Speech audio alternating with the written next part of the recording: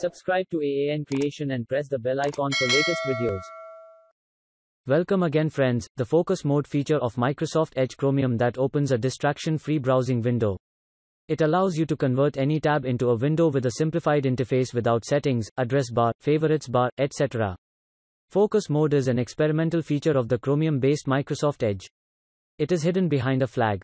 When the focus mode feature is enabled, you can right-click on a tab select focus this tab from the context menu to switch that tab to focus mode.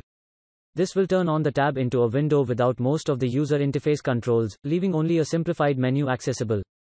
Focus mode is designed to work with a single web page, but you can use hotkeys to open a new private window, make toolbars visible, and also open links in other browsing windows. In this video, you'll learn the steps to enable focus mode in Microsoft Edge Chromium. Use these steps to enable focus mode in Microsoft Edge Chromium. First, open Microsoft Edge and type the following in the address bar. Next, select Enabled from the drop-down menu next to the focus mode line. And restart the browser. Next, right-click on a tab and select Focus this tab. You are done. The tab will appear in the following view.